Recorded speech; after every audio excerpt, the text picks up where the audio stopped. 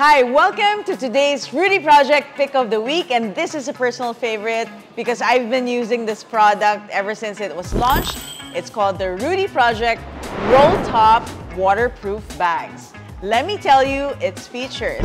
Now, it's of course totally waterproof, so it keeps your valuable safe and dry. Lalo na ngayon if you are uh, going out and it's medyo tag-ulan, it will keep your stuff nice and dry. Now, it's also very durable, it's tear resistant, and it's also highly packable. So you can actually like deflate it and make sure that it's nice and compact. You can put it in your luggage.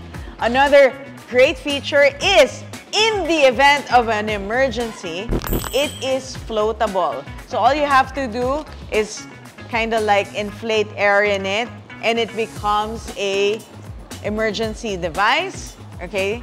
So if that is also for extreme like conditions, it's not necessarily um, a prerequisite that it has to be like um, a safety device, but in case lang of emergency, pag may baha, okay, pwede nyo i-inflate to, tapos pwede kayo lumutang. We're just kidding. But also, it comes with this emergency beacon that lights up once it's in the water and has these safety strips, of course, that are highly reflectorized so you are visible even in the dark.